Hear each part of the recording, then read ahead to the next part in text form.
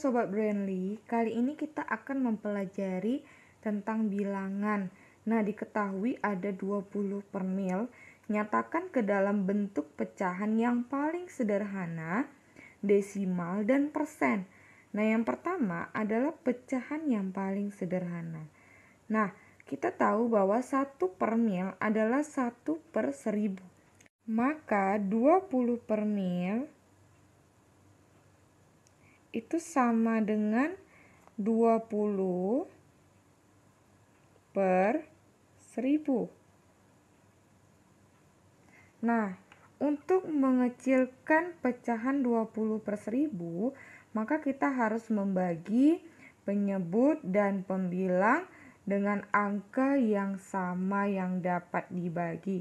Nah, sehingga ini bisa kita bagi menjadi 20 dan 1000 juga dibagi dengan 20 sehingga hasilnya adalah sama dengan 1 per 50 maka pecahan yang paling sederhana dari 20 per mil adalah 1 per 50 Selanjutnya kita akan mengubah 20 per mil ke dalam bentuk desimal.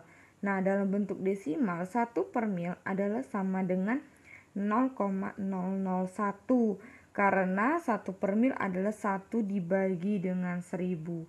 Hasilnya adalah 0,001. Maka 20 per mil adalah sama dengan 20 per 1000. Nah, sehingga hasilnya adalah 0,02. Sehingga bentuk desimal dari 20 per mil adalah 0,02. Selanjutnya, mengubah 20 per mil menjadi persen. Nah, 1 per mil itu sama dengan 0,1 persen.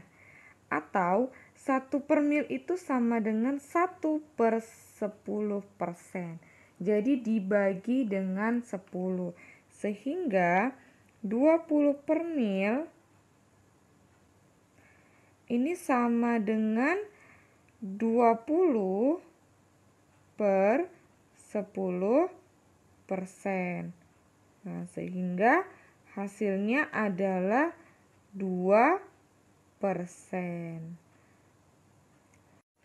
maka pecahan yang paling sederhana dari 20 per mil adalah 1 per 50 lalu dalam bentuk desimal 0,02 dan dalam bentuk persen adalah 2 persen. Sekian, salam edukasi.